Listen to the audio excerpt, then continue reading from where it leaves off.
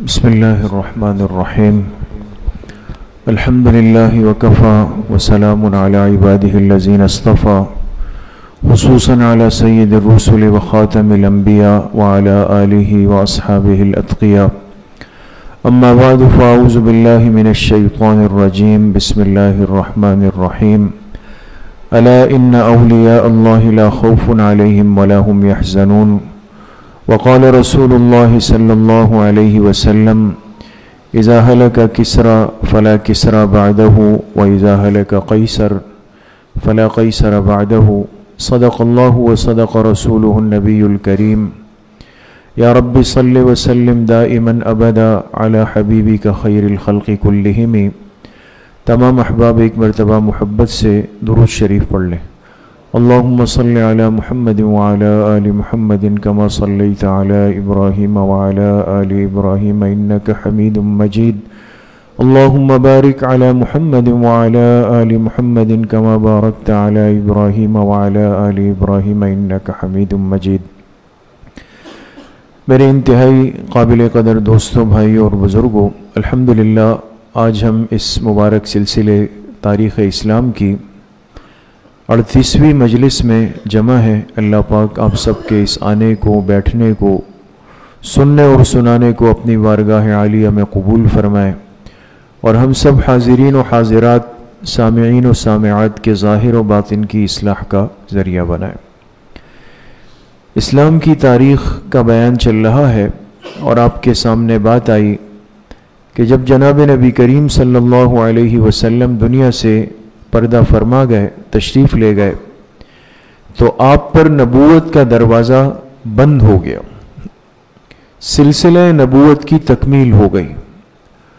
और उसके बाद जो सिलसिला अल्लाह पाक ने उम्मत को आता फरमाया, उस सिलसिले को क्या कहते हैं? सिलसिला खिलाफत।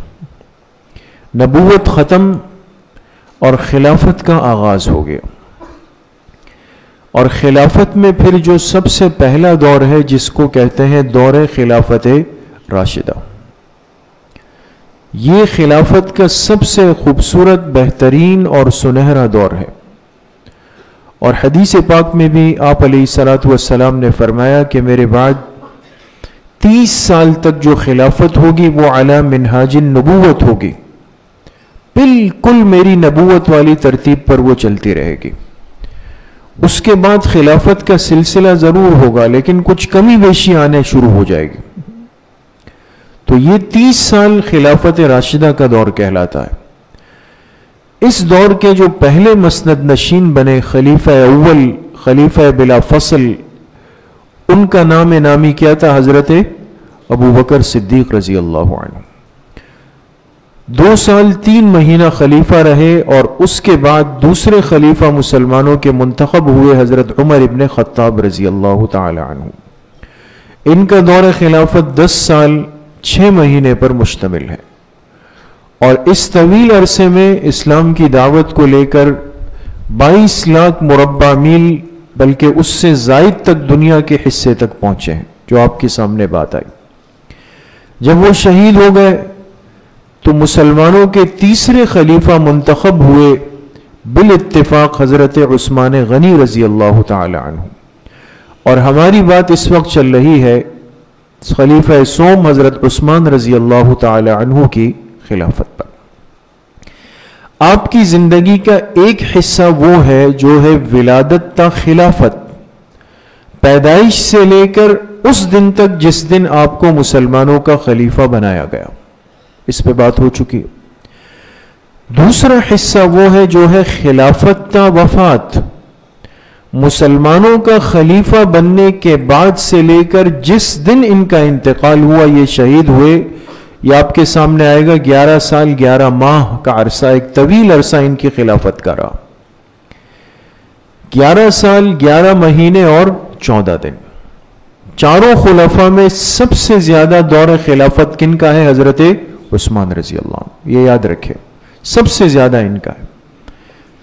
11 साल 11 महीने 14 दिन, यानी आप समझे तकरीबन 12 साल तक मुसलमानों के खलीफा रहे, और इस अरसे में इन्होंने उस सबका सिलसिले को मजीद आगे बढ़ाया। जी। जिस दिन खलीफा बने, सबसे पहले एक मुख्तसर खुतबा दिया। खुतबे के बाद जब निज़ाम खिलाफत शुरू हुआ तो इनके दौर में जो कारनामे हैं, मैंने हर मजलिस में ये बात आपसे अर्ज़ की कि कारनामों का मतलब यह है कि अल्लाह के दीन को दुनिया में कहाँ तक पहुँचाया? एक तो कारनामे वो होते जो आज हम अपने माने में लेते हैं ना कि भाई मैंने ये कर लिया, वो कर लिया, ये रिकॉर्ड बना लिया। नहीं। मुसलमान की ज़िंदगी का कारनामा अल्लाह के दीन की तरक्की से जुड़ा हुआ है। ये अल्लाह के दीन के लिए कितना इस्तेमाल हुआ है? ये इसका कारनामा होता। तो हज़रत उस्मान रज़ी अल्लाह के दौर खिलाफत के जो कारनामे हैं कि आप सलाम का लाया हुआ दीन कहाँ तक पहुँचा है? ये इस वक्त बात चल रही है। और तीसरी बात हम करेंगे निज़ाम खिलाफत पे। जी। कारनामों में दो बातें। एक इनके दौर की फतूहत। नंबर दो इन्होंने सबसे बड़ा जो अजीम शान काम किया और इस उम्मत पर क्यामत तक एहसान किया कि जम कुरान करीम, इससे पहले कुरान करीम इस मुनज़म और मरबूत शक्ल में नहीं था दोस्तों। आज जो हम बसहूलत जाके कुरान तीस पारे ले लेते हैं और तैयार कुरान करीम है जिसपे हमें कोई शक नहीं होता, शुबा नहीं होता, गलती नहीं होती, ये सब मेहनत और कुर्बानी किन की है हज़रत? उस्मान रज़ी अल्लाह इस पे बात होगी। इस वक्त हम बात कर रहे हैं फतूहत पे। जी। आपकी खिलाफत में फतूहत दुनिया के तीन सिमतों में चली गई। इसलिए कि अल्लाह पाक ने चार सिमतें बनाई है। मशरक, मगरब, शिमाल और जुनूब। फतूहत मशरक भी इनकी दौर में हुई इस पर बात हो गई। शिमाल की फतूहत भी इनके दौर में हुई, उस पर भी बात हो गई। और मगरब की तरफ़ की फतूहत भी हज़रत उस्मान रज़ी अल्लाह के दौर में हुई है। उस पर आज की मजलिस में बात होगी। जी। फतूहत मगरब में दुनिया के पाँच हिस्सों का तस्करा आपके सामने आ रहा है। सबसे पहले है फतह स्कंदरिया ये मिस्र का अहम तरीन इलाका है। आज भी ये इलाका इसी नाम के साथ मिल, मुल्क मिस्र में मौजूद है। स्कंदरिया सन 25 हिजरी में हज़रत उस्मान रज़ी अल्लाह के दौर खिलाफत में यह अहम तरीन मरकज़ी इलाका फतह हुआ है। फिर 27 हिजरी, यानी इसके दो साल बाद, अफ्रीका का जो हिस्सा बाकी था, वो फतह हुआ। इकतीस हिजरी में नौबा का इलाका था, वो फतह हुआ।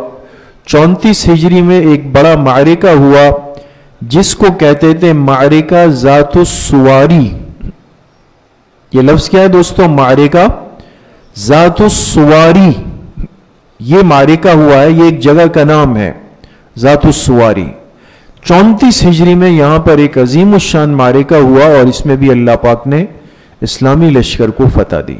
इन चार पे इंशाला मुख्तसरन आज बात करते हैं। जी। ये आप देख सकते हैं दोस्तों, आपके सामने दुनिया का एक नक्शा है। ये बात बार बार आई और अब तकरीबन साथियों को मालूम होगी और मालूम होनी चाहिए। कि ये जो आप देख सकते हैं, इसमें ये जो हिस्सा है, इस लकीर से नीचे का, जजीरतुल अरब का। ये बीच में जो लाइन आ रही है ना, इसको ऊपर हटा दे। इस हिस्से तक इस्लाम की दावत किन के दौर में पहुँची है? जनाब नबी करीम सल्लल्लाहु अलैहि वसल्लम। जब हजूर सलाम दुनिया से तशरीफ़ ले जा रहे थे तो जजीरतुल अरब का इतना हिस्सा वो इस्लाम के अंदर आ चुका था। ये थोड़ा सा हिस्सा रह गया था।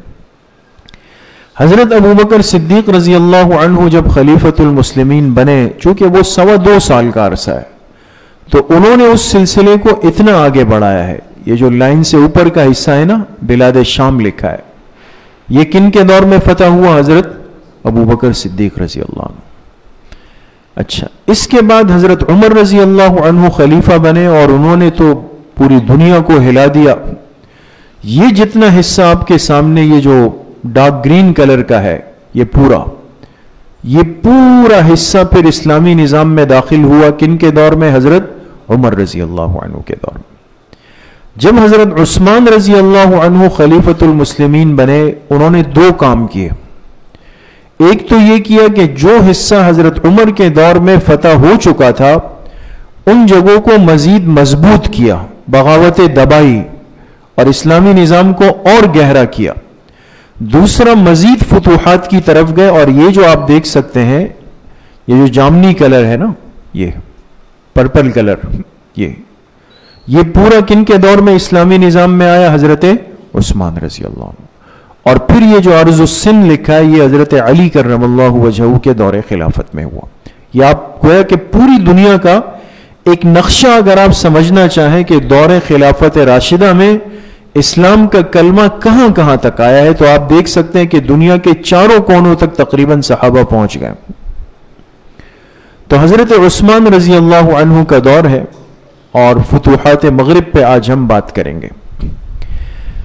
अच्छा ये आप देख सकते हैं, ये है मिस्र का इलाका।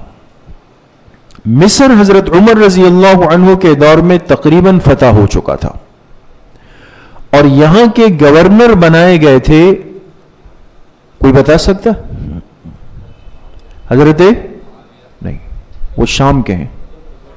अमर इब्न आस रज़ी अल्लाह तु मिस्र के गवर्नर कौन थे हज़रत? अमर इब्न आस रज़ी अल्लाह ये बड़े जंगजू किस्म के सहाबी। ये मिस्र के गवर्नर है। अच्छा ये देख सकते हैं, ये स्कंदरिया का इलाका है। आगे चले। ये स्कंदरिया है। बात समझ गए दोस्तों? इस स्कंदरिया पर अभी तक रूम का तसल्लुत बाकी है। आपके जहन में होगा कि दुनिया में दो आलमी ताकतें थी, सुपर पावर दो थे। कौन कौन रूम और फारिस। रूम और फारिस। फारिस की हुकूमत को, सल्तनत को, निज़ाम को मिटा दिया किन के दौर खिलाफत में, हज़रत उमर रज़ी अल्लाह ख़त्म। वो ख़त्म हो गया। रोम की ताकत अभी तक बाकी थी और ये मुख्तलिफ़ जगहों पर फैल गए, जहाँ मौका मिलता अब शरारत करते। एक बात। दूसरी बात यह कि जब इनको पता चला कि हज़रत उमर रज़ी अल्लाह शहीद कर दिए गए तो इंसान की फितरत है ना कि सख्त आदमी जब तक मौजूद होता है, हर आद फितना दबा हुआ होता है नीचे। और जब पता चल जाए कि सख्त आदमी चला गया तो हर आदमी फिर पर पुरजे निकालता है। तो जब हज़रत उमर की शहादत की इतला आई तो जो जितने कुफार मुनाफिकीन दुनिया के कोनों कोनों में थे तो खुशी के शादियाने बजाए इन्होंने। और वो शरारतें शुरू हो गई। तो एक शरारत यहाँ भी हुई। रोमी सल्तनत में एक शख्स था, एक गवर्नर था, उसका नाम था मनवील। क्या नाम था? मनवील, मीम, नून, वाओ, या और लाम। तो क्या हो गया? मनवील नाम था इसका। और ये ऐसे डाकू किस्म का गवर्नर था।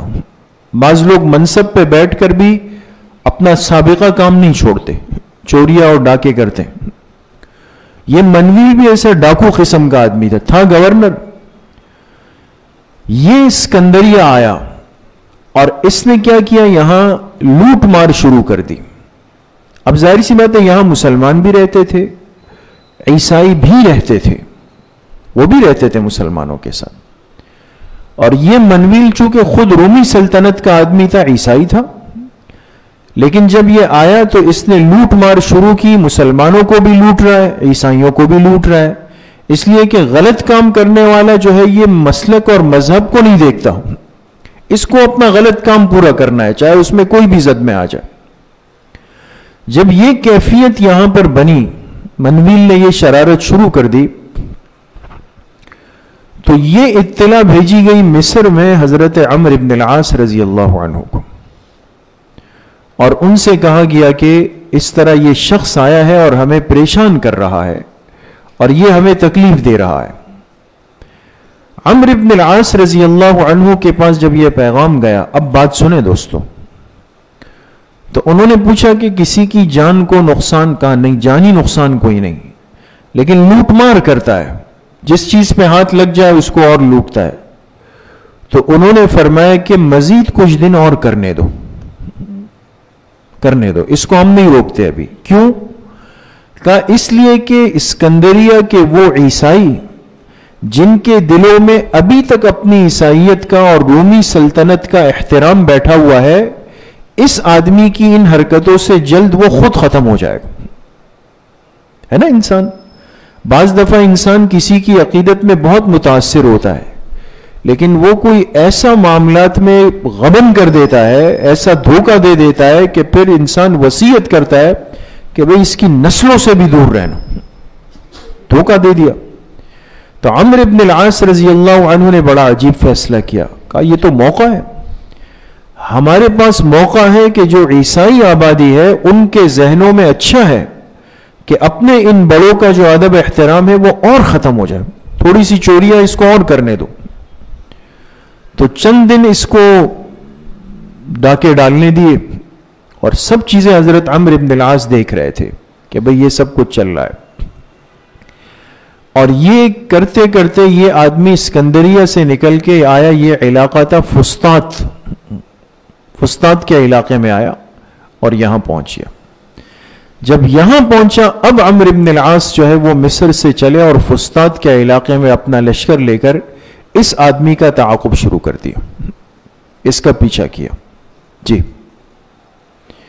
ये आप देख सकते हैं दोस्तों, ये मिस्र का इलाका है। और अमर इबन आस मिस्र से इस आदमी के ताकुब में चले और नफ्यूसा का इलाका है, यहाँ पर यह आदमी पहुँचा और इसको ये कानों कान खबर नहीं थी कि एक लश्कर मेरे पीछे रवाना हो चुका है। जब यहाँ पहुँचे तो ये आदमी अब यहाँ से भागकर कहाँ चला गया? सिकंदरिया के अंदर चला गया। दोबारा अपनी सबका जगह पे छुप गया। अब अमर इबन आस अपना लश्कर लेकर सिकंदरिया इसके पीछे चले गए। जी आगे। ये आप देख सकते हैं। अब इस तरफ़ जो थे, ये रोमी सल्तनत थी पूरी। और ये सिकंदरिया का इलाका था, ये अमर इबन लश्कर लेकर गए। इन्होंने जब देखा इस्लामी लश्कर आ रहा है तो एक कमज़ोर सी दीवार बना दी यहाँ पर। ये जो ब्राउन कलर है ना, ये, एक दीवार सी खड़ी कर दी, ताकि चले इन पर एक प्रेशर और दबाव आ जाए। ज़ाहिर सी बात है कि सहाबा इकराम इन चीज़ों से मरूब होने वाले नहीं थे। जब यहाँ गए तो अमर इबन आस ने सबसे पहले तो इस फसील को तोड़वाया कि इसको गिराओ। उसको गिराया गया और फिर मुसलमान इस हिसार को तोड़कर इसकंदरिया के अंदर दाखिल हुए और इस मनवील आदमी को पहले कत्ल किया और इसकंदरिया के पूरे इलाके पर इस्लामी निज़ाम को नाफिज कर दिया। बात समझ गए दोस्तों? अब आप अगर अंदाज़ा लगाएँ तो स्कंदरिया की तरफ़ मुसलमानों के मुतवजे होने का सबब कौन सा आदमी बना? जी, ये मनवील बना ना। पाँच दफ़ा ये याद रखें कि एक गलत काम किसी खैर के लिए रास्ता बन जाता है। यह आदमी अगर ये हरकत नहीं करता तो शायद पहले सहाबा इक्राम इस तरफ़ मुतवजह ही नहीं होते। इसने ये गलत हरकतें शुरू की तो सहाबा इक्राम को मौका मिला। गया और इसकंदरिया का अहम तरीन इलाका वह अमर इबन आस रज़ी अल्लाह की क़्यादत में फतह हुआ और पूरे खत्े पर इस्लाम के निज़ाम को नाफिज कर दिया गया। जी। अच्छा जी। ये आप देख सकते हैं दोस्तों, ये इसकंदरिया का इलाका है और ये है बरका। यहाँ पर रोम के कुछ लोग मौजूद थे इस बरका के इलाके में। ये भी यहाँ पे शरारत करते थे। अमर इबन आस रज़ी अल्लाह को इत्तला मिली और वो अपना ये लश्कर लेकर गए। ये जो सब्ज रंग की लाइन है, ये इस्लामी लश्कर की तरफ़ इशारा कर रही है। और ये आए हैं और ये इन लोगों को पहले पैगाम भेजा कि भाई अगर आप लोग कलमा कबूल कर ले तो कोई लड़ाई नहीं। इन्होंने इनकार कर दिया। फिर उसके बाद इनको दावत दी कि भाई आप लोग जिजिया कबूल कर लें। तो इन्होंने जिजिया देने पर रजामंदी ज़ाहिर कर दी। इस तरह बगैर किसी लड़ाई के यह इलाका यहाँ पे फतह हो गया। जी। अच्छा अब ये आप देख सकते हैं दोस्तों, तराबलस। तराबलस नाम आपने आज भी सुना होगा। ये दुनिया का मशहूर मुल्क है और ये अफ्रीकी ममालिक में अब आता है, तराबलस। अब ये अफ्रीका की तरफ़ हज़रत उस्मान रज़ी अल्लाह के दौर में साहब इक्राम मुतवजह हो रहे हैं। ये वही बरक़ा है जो फतह हो गया और यहाँ से इस्लामी लश्कर रवाना हुआ है तराबलस की तरफ़। समझ तराबलस पर एक शख्स बादशाह बना हुआ था, उसका नाम था जर्जीस। जर्जीस, ये यहाँ का बादशाह था। इस जर्जीस ने यहाँ तराबलस में बैठकर इस्लामी खिलाफत के खिलाफ मंसूबा बनाना शुरू किया। और ये इत्तला मिल गई मदीना मुनवरा में हज़रत उस्मान रज़ी अल्लाह अनहु के, कि तराबलस का जो बादशाह है जर्जीस, वो इस्लामी हुकूमत के खिलाफ मंसूबा बना रहा है। एक सहाबी है जिनका नाम है अब्दुल्ला इबन साद इबन सरह। अब्दुल्ला इबन साद इबन सरह, सीन, रा, हा, सरह रज़ी अल्लाह अब्दुल्ला इबन साद इबन सरह को हज़रत उस्मान रज़ी अल्लाह ने पैगाम भेजा कि आप जाएँ और बरका से लश्कर लेकर तराबलस पहुँच जाए। वहाँ जर्जीस नामी शख्स होगा, उससे मुलाकात करें और उसको इस बात पे आमादा करें कि बगैर लड़ाई के ये मामला हल हो जाए। अब्दुल्ला इबन साद पहुँच गए। इसको पैगाम भेजा। उसने कहा, आप लोग क्यों आए? कहा, भाई, आपकी इतला है कि आप शरारत कर रहे हैं। ऐसा न करें, हम बिला वजह तलवार उठाना नहीं चाहते।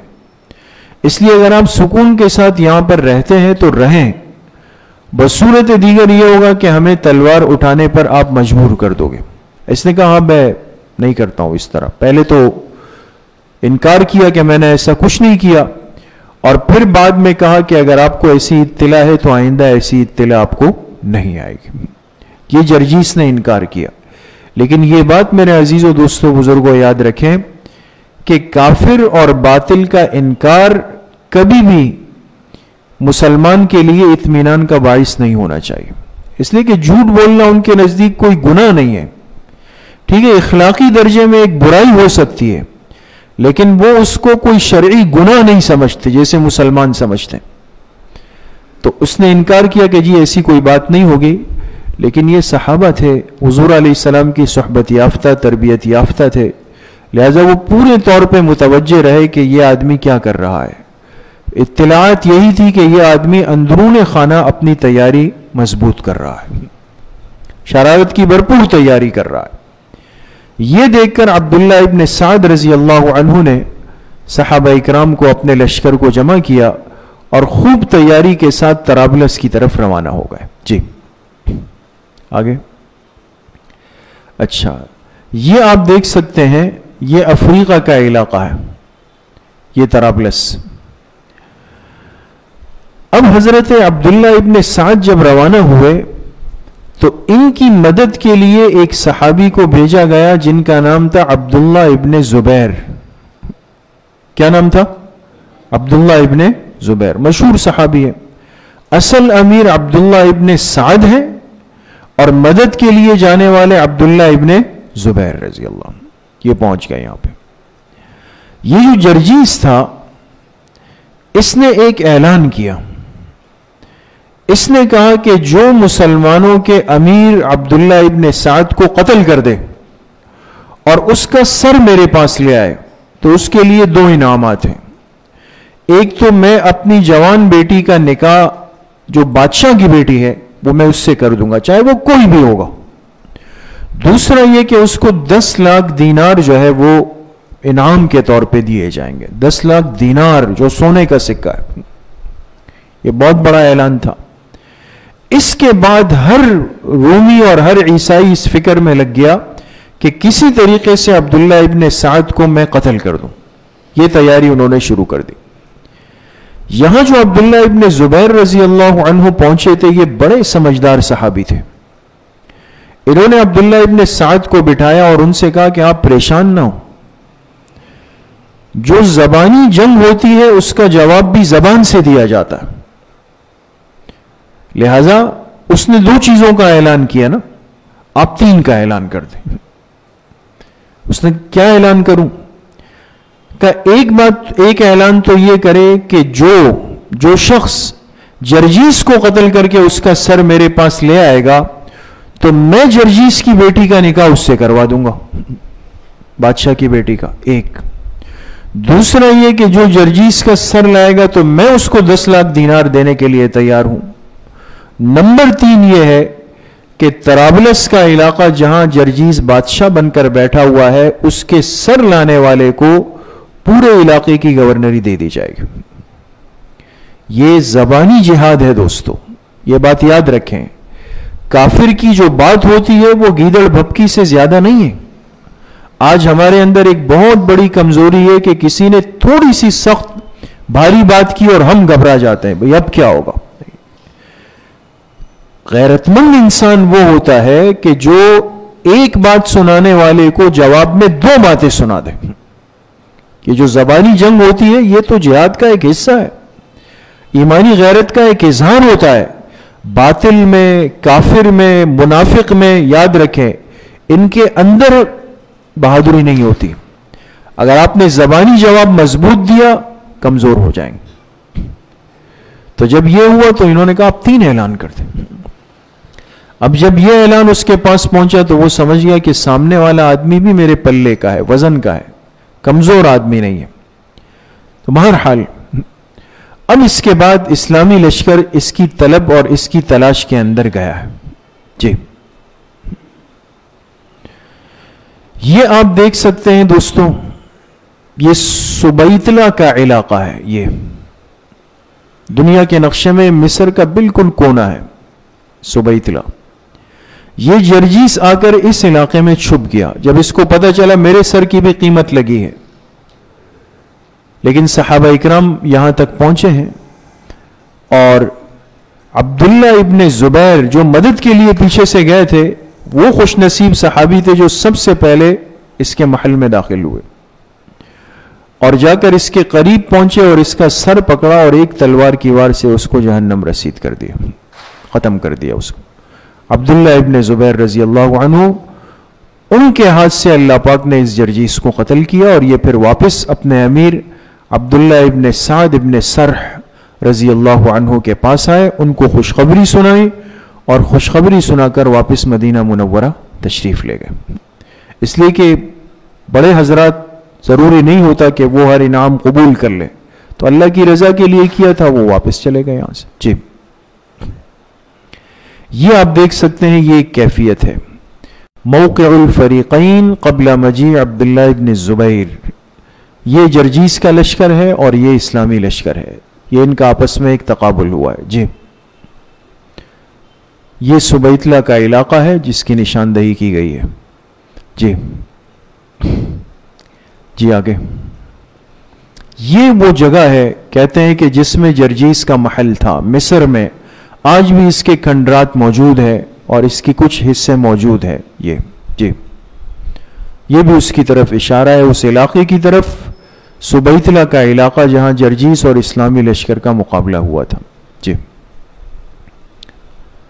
ये अर्जुन नौबा है। ये नौबा, ये भी मिस्र का एक मशहूर तरीन इलाका है। बिल्कुल। और ये बिल्कुल वस्त के अंदर आता है। दरमियाना इलाका है, अर्जुन नौबा। इस अर्जुन नौबा में भी रोमी सल्तनत की एक ताकत मौजूद थी। और यहाँ बैठकर भी इन्होंने जब देखा कि इस्लामी सल्तनत मुख्तलिफ़ इलाकों पर गालिब आ रहा है, यहाँ भी इन्होंने शरारतें करना शुरू की। इसी से जुड़ा हुआ इलाका था जातुसुवारी जिसका नाम आपके सामने आया ना? जातुसुवारी वो यही नौबा का इलाका था। जी आगे। ये आप देख सकते हैं दोस्तों, ये है जातुसुवारी का इलाका। ये। और ये बिल्कुल इस्लामी लश्कर और इसके बीच में एक बहुत बड़ा समंदर, बहर अबियज। बहर अबियज जो है ना, वो इसके बीच में हाइल है। ये। बुहर रूम। ये जातुसुवारी का इलाका है। और यहाँ पर जो बादशाह था, ये अब अहम बात है दोस्तों। वो कैसर का आखिरी बादशाह था। आपने सुना कि मिस्र के हर बादशाह का लकब क्या होता था? कैसर होता था। ठीक है ना? कैसर होता था। ये आखिरी कैसर है। आज की मजलिस में आपके सामने आएगा, किसरा खत्म हो गया? अब कैसर खत्म हो रहा है। और हजूर सलाम का इरशाद था कि इजा हल का किसरा, फला किसरा बादहू। जब आखिरी किसरा हलाक हो जाएगा, फिर दुनिया में कभी किसरा की बादशाही नहीं होगी। अब देखिए ना, वो नाम नहीं है। और फरमाया, जब कैसर हलाक हो जाएगा आखिरी तो फिर कैसर नहीं आएगा उसके बाद। अब ये आखिरी कैसर था और इसका असल नाम था कुस्तुनतीन कुस्तुनतीन दोनों में त्वा है। कुस्तुनतीन नाम है ये यहाँ पर। इंतहाई दर्जे का मुतकबिर इंसान था। और इसके पास, यानी जिसको कहते हैं ना, एक एक इजाफी, इसको फ़ायदा यह हासिल था कि इसकी जो हुकूमत थी बिल्कुल दरिया के किनारे। तो अब इसको यह इतमान था कि भाई दरिया से मुझ पर कोई हमलावर नहीं हो सकता। तो यहाँ से इस्लामी लश्कर तैयार हुआ है और बहरी बेड़ा आपके सामने बात आई कि सबसे पहले समंदर में बहरी बेड़ा लेकर, जहाज़ लेकर उतारने वाले सहाबी का नाम क्या है, हज़रत मुआविया रज़ी अल्लाह तु जिनका योम वफात 22 रजब को गुजरा है। चूँकि वो एक सिलसिले का आगाज़ कर चुके हैं, बुनियाद रख चुके हैं तो अब मुसलमानों के लिए यह बात कोई नई नहीं थी कि हम समंदर के रास्ते से जाके जिहाद करें।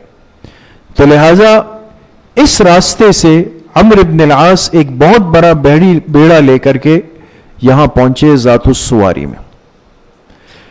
जब कुस्तुमतीन को पता चला तो उसने पैगाम भेजा मुसलमानों के अमीर को, आमिर इब्न आस रज़ी अल्लाह को, आप कैसे आए? उन्होंने फरमाया, तीन सूरतें हैं। पहली बात तो यह कि हम अल्लाह के आखिरी पैगंबर के कलमे की दावत लेके आते हैं। उसको मान लें, हमारे भाई हो जाएँगे, ख़त्म।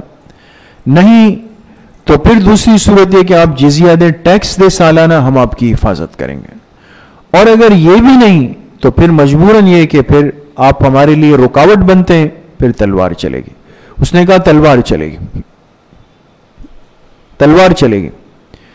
तो अमर इब्न लास ने फरमाया, ठीक है, फिर आप ऐसा करें कि मैदान में आ जाए। इसने कहा, नहीं, मुकाबला तो होगा, यहीं पर होगा। इसके जहन में यह था कि दरिया का किनारा है, बीच में बहर अबियज है, मुसलमानों को घेर लेंगे। तो आमिर इब्न आस बड़े समझदार सहाबी थे। उन्होंने जब महसूस किया कि कुस्तुनतीन का जहन ये बन रहा है कि इनको समंदर बुर्द कर दिया जाए, सबको गर्क कर दिया जाए तो रातों रात खामोशी से अपने पूरे लश्कर को जातुसवारी के इलाके में फैला दिया, अंदर, अंदरून खाना फैला दिया। एक लाख रोमियों का लश्कर इस इलाके में मौजूद था, तारीखी किताबों में, एक लाख। और कुस्तुनतीन उनकी क्यादत करता था। और हज़रत अमर इब्न आस चंद हज़ार हजरात को लेकर गए। लेकिन क्या किया? उनको पूरे इलाके में फैला दिया। जब सुबह हुई, उनको अंदाज़ा नहीं था कि हमारे बीच मुसलमानों के फौजी भी बैठे हुए हैं। तो यहाँ मारिका हुआ और इतना भरपूर मारिका हुआ है कि किताबों में लिखा है कि जातुसवारी से जुड़ा हुआ जो बहर अबियस का बहुत बड़ा हिस्सा था पानी, कई दिनों तक इसका रंग खून से सुरख रहा है। और हज़ारों रोमियों के फौजियों को कत्ल करके बहर अबियज में फेंक दिया गया। इसलिए कि उनको एहसास नहीं होता था पीछे से मुसलमान फौजी पहुँच जाते थे। बहरहाल एक भरपूर मारिका यहाँ पर हुआ है और ये एक बड़ा मुहतात इलाका जो महफूज समझा जाता था, ये अमर इब्न आस रज़ी अल्लाह के दौरे खिलाफत में ये भी फतह हो गया। तो मगरब का अहम तरीन हिस्सा जो मिस्र के साथ, अफ्रीका के साथ जुड़ा हुआ था ये भी किन के दौरे खिलाफत में फतह गया हज़रत उस्मान रज़ी अल्लाह के? तो दुनिया की तीन सिमतों पर, तीन सिमतों पर हज़रत उस्मान रज़ी अल्लाह ने इस्लाम के गलबे को पहुँचा दिया। अब यह कि कुछ फितने हज़रत उस्मान रज़ी अल्लाह के दौर में नए उठे, जो इससे पहले नहीं उठे थे, अजीब व गरीब फितने थे, उसका तस्करा इंशाला आइंदा मजलिस से करेंगे। अल्लाह करीम मुझे भी आप सबको सही अमल की तोफ़ी नसीब फरमाए। व आखिर दावाना अनिलहमदिल्ला रबालमीन अलहमदिल्ला रबालमीन वसलात वसलाम वस्सलामु